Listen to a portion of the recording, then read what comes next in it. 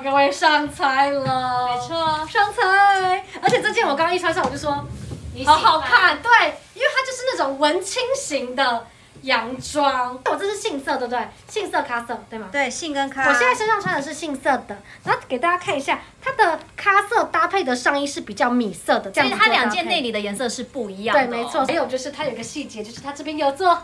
开叉设计，我是建议 S 到小 L 的人穿比较刚好，没错。那大 L 以上穿可能会有一点合。但是我觉得它这个吊带羊的布料很好，它是有点类似西装，对，西装的挺板布料。对，它不是棉，它也不是棉嘛，它是西装挺板的布料。没错。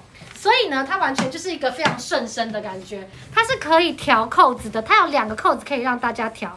像我现在是调到最底的，因为我个子比较娇小，所以如果你再高一点的话，你还可以再放一颗扣子这样子。嗯，好的，现在可心身上穿的是咖色，然后里面的内里是杏色的，跟刚才的不太一样。好。